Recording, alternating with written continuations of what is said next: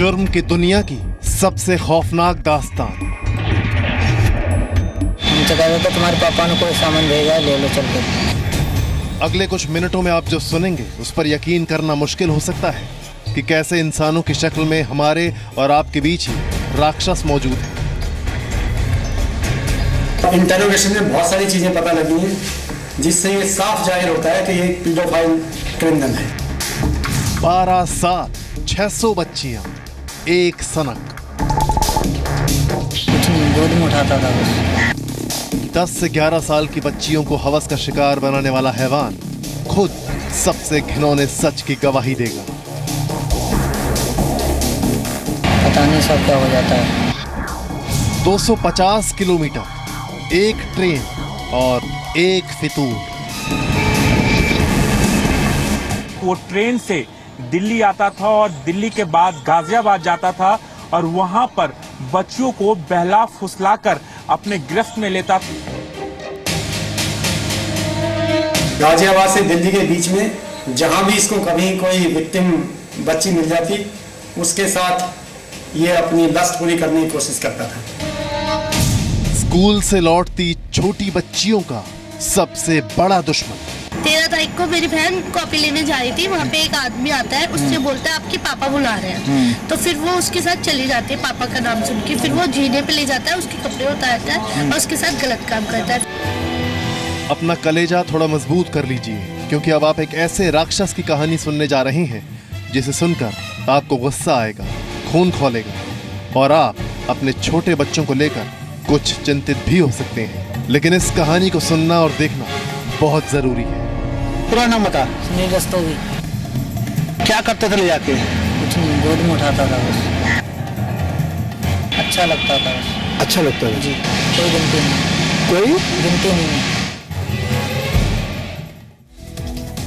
Delhi police ने एक ऐसे शख्स को गिरफ़्तार किया है जो पिछले 12 साल से छोटी बच्चियों के साथ यौन शोषण कर रहा था 30 साल का आरोपी करीब 600 छोटी बच्चियों के साथ यौन शोषण की कोशिश कर चुका है और दर्जनों बच्चियों को हवस का शिकार बना चुका है। पेशे से दर्जी है ये शख्स और स्कूल से लौटने वाली बच्चियों को निशाना बनाता था। दिल्ली पुलिस ने उसे अशोकनगर में ऐसी ही एक वारदात के बाद गिरफ़्तार किया। नाम सुनील रस्तोगी। उम्र 38 साल। पेशा, दर्जी, सनक, बच्चियों का यौन शोषण। दिल्ली पुलिस की गिरफ्त में खड़े इस शख्स की घिनौनी कहानी सुनकर किसी के भी होश फाख्ता हो सकते हैं। उत्तराखंड के रुद्रपुर में दर्जी की दुकान चलाने वाला सुनील रस्तोगी पिछले करीब 12-13 साल से हफ़्ते में एक दिन दिल्ली आता था, स्कूली बच्चियों को निशाना बनाता था। पहला फसला कर बच्चियों का यौन शोषण करता था और उसी दिन वापस लौट जाता था। सुनिए कितने साल की बच्चियाँ इसके निशाने पर होती थी? कितने कितने साल के बच्चे को तुमने अभी तक टारगेट किया है? दस ग्यारह साल। हाँ? दस ग्यारह साल। क्या करते थे कैसे ऐसे जाते हमसे कह थे तुम्हारे पापा ने कोई सामान भेजा ले लो चल के। पता नहीं सब क्या हो जाता है। बच्चियों से यौन शोषण की सनक में सुनील रुद्रपुर से गाजियाबाद स्टेशन पर उतरता था। जिसके बाद वो दिल्ली गाजियाबाद और नोएडा में स्कूल से अकेली घर जाने वाली बच्चियों को टारगेट करता था। मासूम बचपन को तार तार कर देने वाले इस हैवान को ये भी याद नहीं कि वो अब तक कितनी बच्चियों के साथ यौन शोषण कर चुका है। कोई अच्छा लगता था। शौक पूरा करने के लिए। सीरियल रेपिस्ट की सनक की एक और हैरान करने वाली बात यह है कि वो हमेशा एक ही ट्रेन यानी संपर्क क्रांति से ही दिल्ली आता था।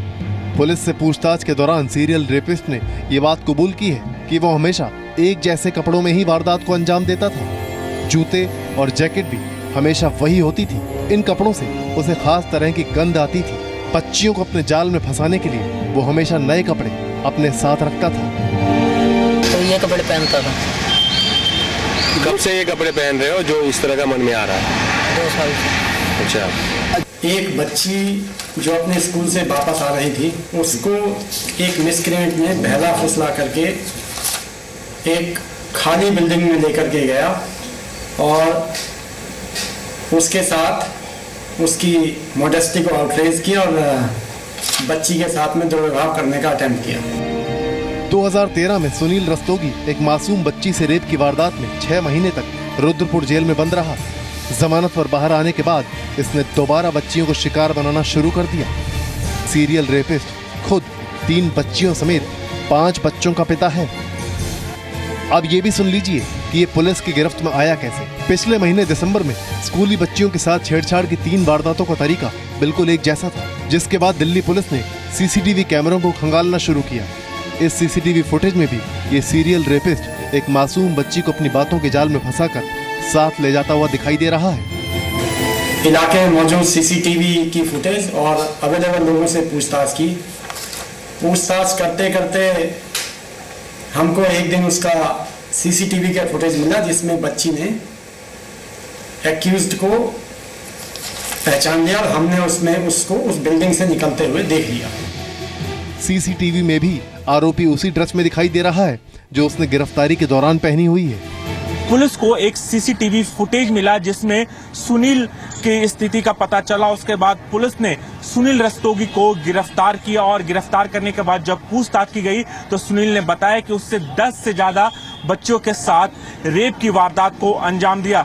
फ़िलहाल पुलिस ने सुनील को कोर्ट में पेश कर दिया है और पूरे मामले की जाँच कर रही है और ये पता लगाने की कोशिश की जा रही है और किन किन बच्चों के साथ सुनील ने रेप जैसी घिनौनी वारदात को अंजाम दिया। इंसान की शक्ल में ये भेड़िया दिल्ली के न्यू अशोक नगर में इसी दुकान में दर्जी का काम किया करता था। हालाँकि दुकान में चोरी करने के बाद उसे वहाँ से निकाल दिया गया। हल्द्वानी में भी रेप के मामले में जेल जा चुका है। सुनील रस्तोगी के दिमाग की प्रोफाइलिंग करवाई गई, जिससे पता चला कि वो एक पीडोफाइल साइको रेपिस्ट है। इसका इंटरोगेशन में इसने बताया कि आमतौर से हफ़्ते में एक दिन ये रुद्रपुर से आता और अपनी पीडोफाइल लस्ट को सेटिस्फाई करने के लिए हमेशा सात से दस साल की बच्चियों को टारगेट करता था। अब ये भी समझ लीजिए कि पीडोफाइल होता कौन है? तेरह या उससे कम उम्र के बच्चों के साथ यौन संबंध बनाने की इच्छा रखने वाले या यौन शोषण करने वाले को पीडोफाइल कहा जाता है। इसी मनोरोग को पीडोफीलिया कहते हैं। सुनील रस्तोगी नाम का यह शख्स इन दिनों गाजियाबाद में एक दर्जी की दुकान में काम करता है। बहन मेरे घर आती है तो मेरे से बोलती दीदी ऐसे ऐसे हुआ तो मैं दिल्ली पुलिस को फ़ोन किया मैंने तो फिर उन्होंने उनको सब कुछ बताया उन्होंने सब क्या वो किया फिर वो पकड़ा गया। जिस परिवार की शिकायत के बाद ये हैवान दिल्ली पुलिस की गिरफ्त में आया उस परिवार को दिल्ली पुलिस के डीसीपी जो सलाह दे रहे हैं वो बात सभी माता पिता को भी सुननी चाहिए। ये ज़रूर कहूँगा बच्चों को अपने समझाएँ कि अनजान लोगों के साथ में कभी भी किसी के साथ ना जाएँ। राजू राज जी मीडिया, दिल्ली। जी हाँ ये बच्चों को बताना बेहद ज़रूरी है कि किसी अनजान शख्स के साथ ना जाएँ। हम जहाँ तक हो सके अपने बच्चों की हिफाजत इसी तरह से कर सकते हैं। ऐसी हालत में ज़रूरी है कि आप अपने बच्चों को घर में ही इस बात के बारे में तफसील से बताएँ, ताकि मासूम इस तरह की वारदात का शिकार कभी भी ना बने। तो कुछ चीज़ें जो हम आपको बताना चाहते हैं। अपने बच्चों से आपको खुलकर बात करनी चाहिए। और साथ ही बच्चों के अंदर आपसे अपनी बातें कहने की हिचक नहीं होनी चाहिए। वो खुलकर आपसे बात कर सके, इतना कंफर्टेबल आपको उनको बनाना चाहिए। बच्चे को ऐसा नहीं लगना चाहिए कि वो आपको कुछ कहेगा तो उसे डांट पड़ेगी। बच्चे को ऐसा भी नहीं लगना चाहिए कि आप उसकी बात अनसुनी कर देंगे। गौर करिए उनकी बातों पर। बच्चों को ये समझाने की ज़रूरत है कि उसे किसी पर भरोसा करना चाहिए।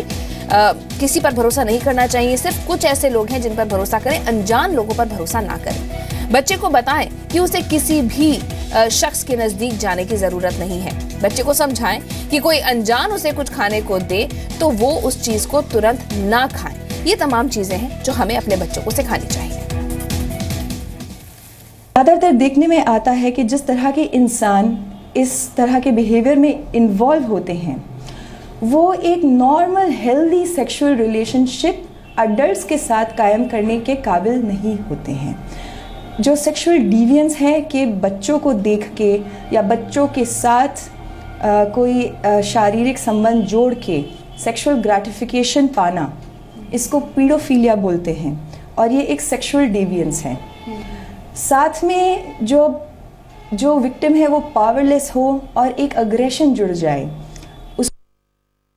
और जब उसने गुनाह कबूल कर लिया है तो मैं नहीं समझती उसे किसी कीमत पे भी कोई बहस होनी चाहिए। इसमें सुनवाई होनी चाहिए। आज हमें ज़रूरत है फ़ौरन कार्रवाई की इमीडिएट रिएक्शन इमीडिएट पनिशमेंट क्योंकि निर्भया केस के बाद में भी आज तक आप देखिए दोषी जेल में पड़े हुए हैं, कभी मांग होती है उनकी उम्र कैद की, सजा हो जाए, फांसी नहीं हो तो इस तरह की चीज़ें नहीं होनी चाहिए। क्योंकि ऐसे अपराधियों को बल मिलता है, उनको सोचने का वक्त मिलता है, वो कानून का डर उनकी निगाहों से निकल जाता है। तो मैं समझती हूँ इस केस में, जब उसने गुनाह कबूल कर लिया है तो इसको फ़ौरन जो है, तुरंत सुनवाई करके इसको फांसी की सजा दी जानी